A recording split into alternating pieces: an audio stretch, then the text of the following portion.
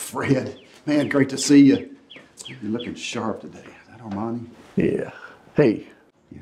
another great sermon, Luke. Thanks. Why, I'm ready to get up tomorrow morning, go out and make more money. Which no doubt you'll be thrilled to contribute to our building fund. Oh, a hefty chunk of it for sure.